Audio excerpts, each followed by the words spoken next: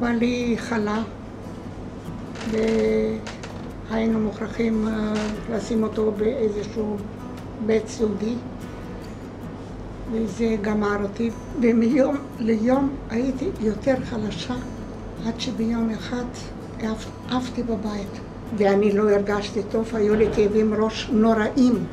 וכשהייתי בבית כבר לא ידעתי מה לעשות.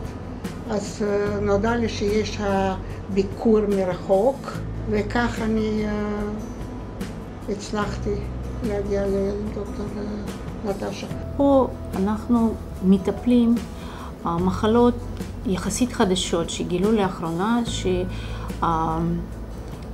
שהמערכת האימונית תוקפת את המערכת העצבים המרכזית, וכתוצאה מההתקפה הזאת יש החולים סובלים מכל מיני ביטויים קליניים כי הפרעות בזיכרון, שינויים בהתנהגות, שינויים בריכוז, הפרעות בתפקודי שפה, סובלים מהפרעות שינה, יכול להיות שגם הפרעות תנועה, פרכוסים, ירידה בתפקוד יומיומי. וסימנים האלה מסתמנים במשך שבועות, חודשים. ו... מאוד חשוב לאבחן בזמן, כיוון שאבחון בזמן נותן לנו אופציה לטפל בזמן. התברר בשנים האחרונות שיש קבוצה חדשה של מחלות שלא ידענו עליהן, שבעצם יש מתקפה חיסונית על המוח.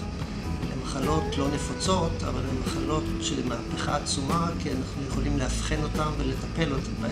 פתחנו מרפאה ייעודית לכך, לאנצפליטיס אוטואימוניות ומצבים מטבוליים, כאן במכון אה, לשבץ מוח ולקוגניציה.